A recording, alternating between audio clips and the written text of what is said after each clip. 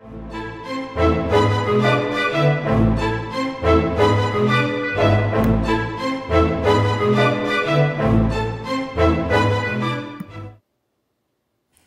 my name is Rohit Patel. I'm one of the ED ICU physicians. Today we're going to talk about Doppler and color uh, flow on ultrasound. First of all, Doppler flow is usually used to assess velocity and regurg and uh, essentially blood flow.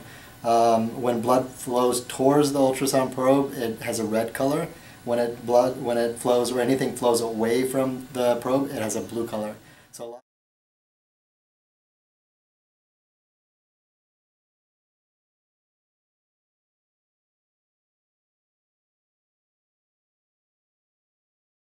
usually get is you get a, a, screen with a square on it. You can actually increase or move the move the size of the square around with usually a trackpad.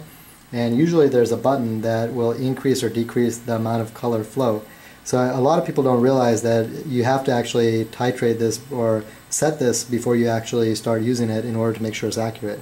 One way to do it is when you when you turn this all the way to the right, you'll see on the screen it turns all the way to the bright mode, bright color flow everywhere and then if you go all the way to the left it'll go away so the optimum one that you want is where you see a little bit of flow uh, showing like probably like this right here where you see a little bit of flow and that's that's the most accurate. Same thing for the Doppler. When you press the Doppler if you go all the way to the right you'll see that it shows too much flow.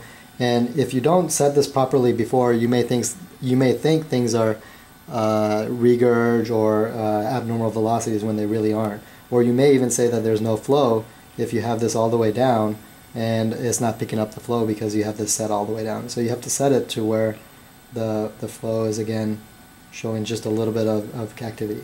And this is useful for, again, cardiac. Uh, we also use it in the ED for uh, scrotal ultrasound for testicular torsion.